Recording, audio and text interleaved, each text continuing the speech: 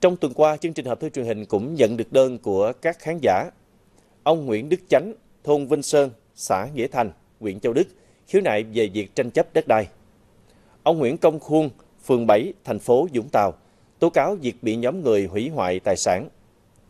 Ông Võ Hồng Ngự, phường 5, thành phố Vũng Tàu, đề nghị cấp giấy chứng nhận quyền sử dụng đất do thừa kế. Ông Nguyễn Văn Thuận, phường 10, thành phố Vũng Tàu, yêu cầu xem xét việc đền bù, thu hồi đất, thực hiện dự án khu tái định cư phường 10, thành phố Vũng Tàu. Chúng tôi sẽ tìm hiểu thực tế và liên hệ với cơ quan chức năng có thẩm quyền trả lời cho quý khán giả trong các chương trình kỳ sau. Chương trình hộp thư truyền hình của Đài Phát thanh và Truyền hình tỉnh đến đây là hết.